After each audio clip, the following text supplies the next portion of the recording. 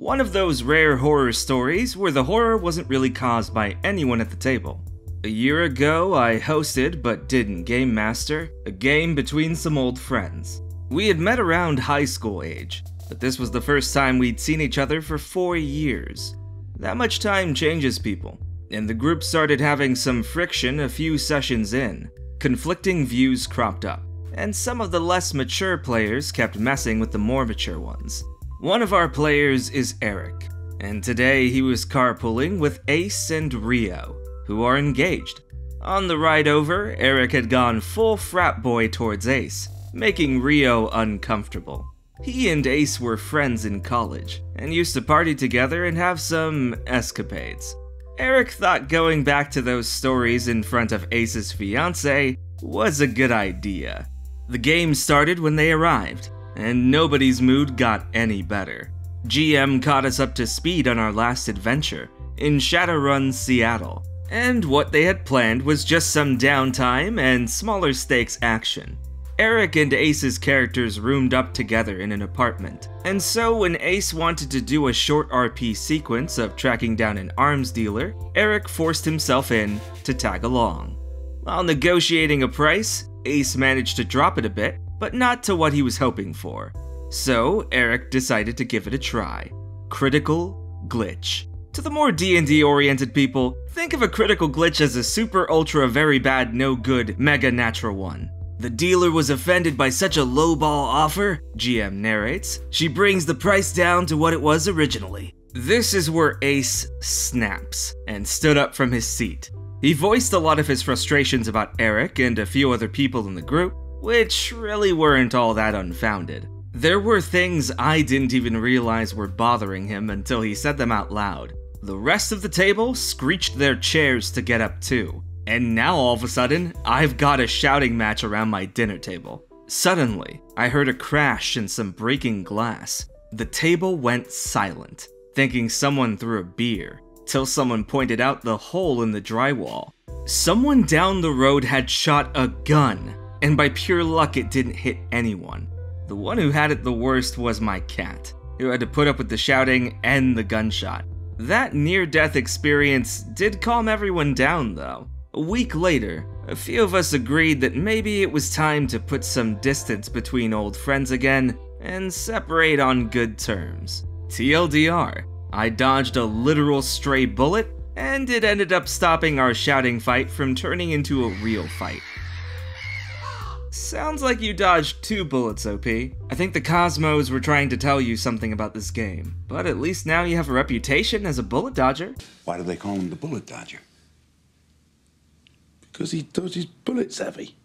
Now let's slide out of cover and vault into our next story. Problem players and an inability to separate their characters from themselves. Name a more iconic duo. And unfortunately for this group, this kind of problem player decides to pursue a relationship with this poster's wife, both in and out of game. So let's gather up a murder and see how this plays out.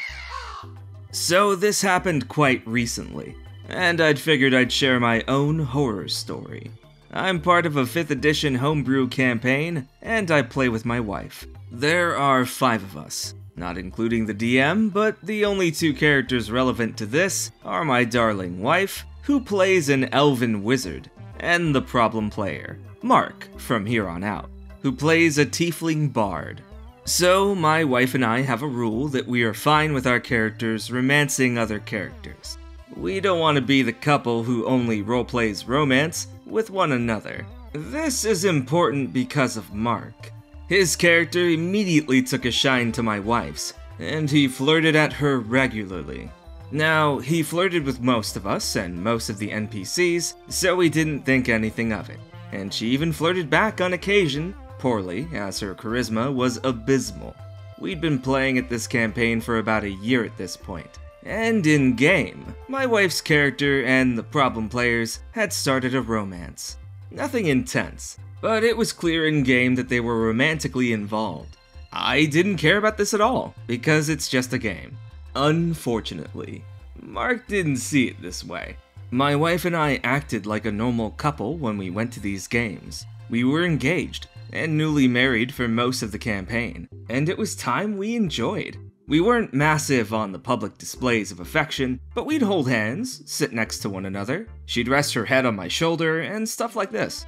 Well, one day Mark pulled me aside and told me I needed to back off from my wife? I was confused and said, What did he mean back off? She's my wife. And she instigated most of the physical contact. I apologized if he was uncomfortable and we'd be more discreet.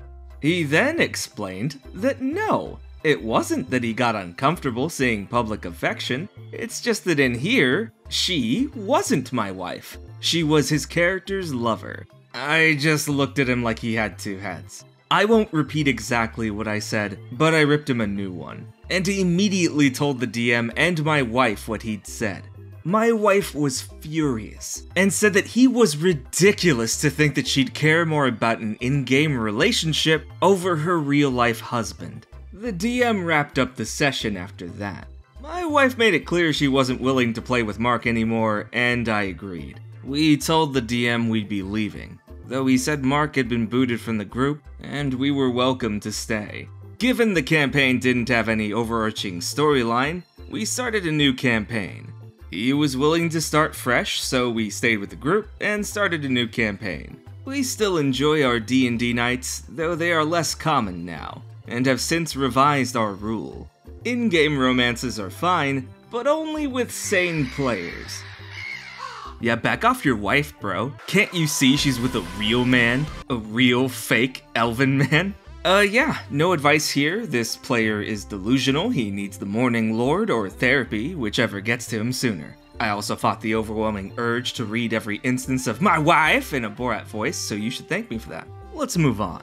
Cutscenes. A brief pause in the action to have a cinematic moment in a game. Sometimes beautiful and atmospheric, and sometimes unnecessarily long, complicated, and spends an hour discussing your relationship to metaphysical reality after you spent the last 5 minutes doing naked cartwheels to knock out guards. Technically, this entire rant I'm going on right now is like a cutscene until the next story. Please don't skip it though, I need the ad revenue. A story which is about, you guessed it, cutscenes. And so, without further ado, let's mash the skip button until you break your keyboard as we keep the murder going and dive into this next story. My friends and I have been playing a 5e campaign for about one year together. I created a character for this campaign where I fleshed out his personality more thoroughly than I had with any previous character. He got to develop over the course of the story, and the other players responded to him well. My wife and I learned that we were expecting a baby, not our first, and I told the group that I would need to take a break from the game after the baby was born for the adjustment period. A couple weeks later, the DM sends me a text stating that he's considering killing off my character in an upcoming session. I responded, asking that my character not be killed off, and suggested he spend time at his god's temple or something. I never got a response. Fast forward a couple months. It's one month from the due date, and our session is a big siege type attack. We play for several hours until the city is taken. Once the battle is ended, the DM introduces a brand new BBEG, who suddenly appears right next to my character. The DM makes a die roll, never clarifying why they're rolling, behind the screen, and announces that the BBEG just killed my character. No damage announced, just that my character was immediately dead. The DM declared to the group that he had planned this with me. The group was shocked, and I didn't want to kill the momentum with an argument, so I didn't speak up. The more I thought about it, the more it bothered me. I talked with another player and showed the text exchange. This validated my frustration. It's been three months since the birth of a healthy daughter. We've started a Starfinder campaign with the same DM but his poor communication is really hampering my enjoyment. Other issues are also present. For example, railroading the story, little or no description of locations, blaming players for any misunderstandings of the world, outright refusal to have a session zero, etc. Thinking of leaving the game altogether. I think that's the right call. Clearly, this dungeon master doesn't care about what you're comfortable with and generally doesn't seem like they really care about your agency at all. As a DM, you have to facilitate situations that allow your players to make choices, even if those choices don't match exactly what you imagined for your story. It is not your story, it's ours. This is a game, not a screenplay. And all this DM ended up doing was giving his players the Netflix adaptation of his game. Let's forget about this DM like we forgot about the live action Death Note movie as we move on to the next story Warhammer. Home to horrible, smelly, evil, disgusting monsters that feast like carrion on the remains of a rotting empire, to the encore of fiendish gods. But enough about Warhammer fans. The setting is also home to really cool, expansive lore, talented cosplayers and miniature painters, and amazing video games. I mean, except for 40k, which seems to keep getting a bunch of gacha phone games that want to drill holes in your wallet in exchange for shitty loot boxes. But unfortunately, as mentioned previously, despite all the cool things about Warhammer, it seems to attract some of the worst human beings to ever crawl out of the depths of Nurgle's domain. For an example of what I'm talking about, look no further than the player in this next story. Content warning for mentions of sexual assault. In early 2021, I had joined a Warhammer fantasy game module called Enemy Within. Enemy Within is a very long, very difficult campaign, and I was excited to finally find a dedicated group who would want to run it on Sunday nights, because at that time, that's the only time I could do. I had decided to play a Bretonnian thief, and then later promote into a spy named Nanette.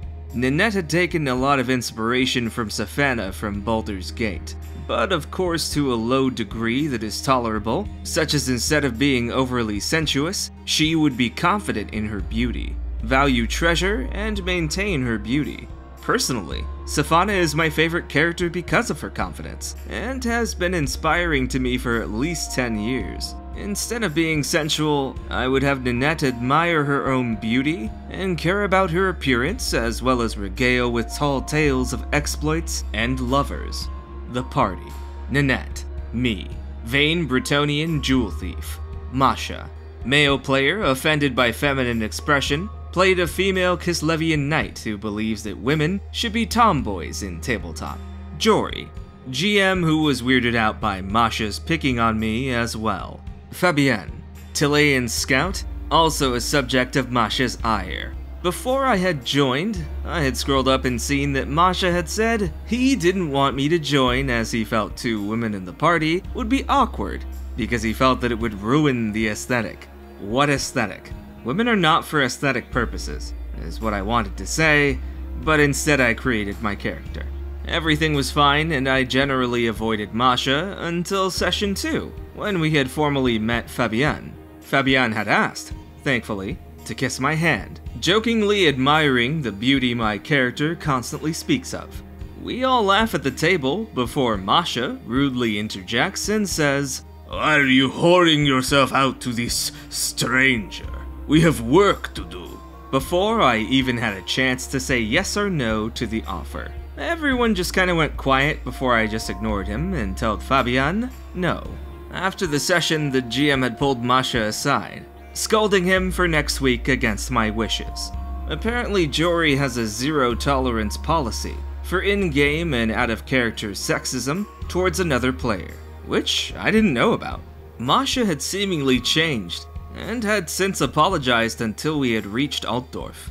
After fighting a bright wizard, Nanette's hair had become slightly charred by Jory's description. And then jokingly, I had her decide to use her own money to purchase a hairbrush and then take a hot bath. After I told the party my intent in our downtime in Altdorf, Masha has an absolute meltdown. Why are you portraying women like that? No girl is like that and the girls that are usually die in Warhammer or are raped to death. To which, massaging my temples, I respond, How are you going to tell me how to portray a woman as a man? The GM then muted Masha and then kicked him from the game and Discord, apologizing profusely before he ends the session there for the week. Masha, not done with the drama, joined the Discord with an alt alongside two others, and decided to spam me calling me fat, whore, and ugly. I had found it mildly amusing, posting screenshots I had taken of Masha's previous rantings about how he wants to be the only woman before he is kicked. I will never understand how a man can tell a woman how she should act, should behave in a roleplay setting, and what their core principles should be. Masha, if you're reading this, just know that not every girl wants to swing a sword, drink beer, act snarky, or roleplay being a lesbian like you. As for the game, we're still going strong. I was the one who suggested we post this, just so I can vent this out of my system. Now, Whenever we meet a female NPC, there's always a slight bit of laughter because we know it would make Masha furious. TLDR. Male player hates confident female player who doesn't buy into his tomboy values in Warhammer. Says my character would be raped to death and then goes berserk after being kicked. Props to Jory the DM for catching on immediately and just booting the guy when he needed to. That kind of perception and immediate action makes him the MVP of this story. And while I can wish you luck against the enemies within, it sounds like your party's in good hands. You have my blessing to continue having spa days in Warhammer, if not for yourself, but just to make Masha seethe. Lots of stories today. And if you enjoyed today's stories, please be sure to leave a like on today's video, and subscribe to the channel. And hey, why not leave a comment and boost my engagement? Can't think of a comment? Then leave the comment, enemy within, so I know that you made it to the end of today's video. But if you'd like to further support the channel, then why not join the Bird Aristocracy over on Patreon, and join patrons like our Counts of Quills, patrons like Sharkay, Kurito Kazuto, Critical Kunic, Evix, King Drazil, Christian Pipp, Cosmosis, Rykis, Vincent, Haley Thompson, Zerofang, and Netscape Navigator. Or you can join the Barons of Beaks, like Mr. Hypocritical, Jayvon Meighan, Jesse Schoedel, Kuntos Weasel, Moet is Mao, Chunky Salsa, Tech Blog,